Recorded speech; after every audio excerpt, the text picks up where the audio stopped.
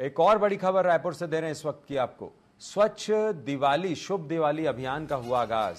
तीन नवंबर तक चलाया जाएगा अभियान। प्रत्येक जोन में कबाड़ खरीदी के लिए बनाए गए आरआरआर केंद्र गंदे स्थान को चिन्हित कर अभियान के तहत बनाया जाएगा स्वच्छ।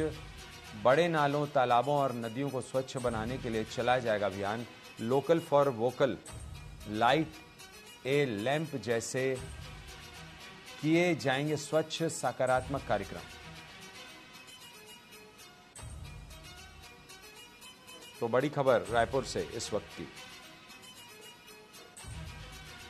Local for vocal light a lamp जैसे किए जाएँगे स्वच्छ सकारात्मक कार्यक्रम। बड़ी खबर दे रहे हैं, रायपुर से इस वक्त की खबर दे रहे हैं आपको। स्वच्छ दिवाली, शुभ दिवाली अभियान की शुरुआत हुई है।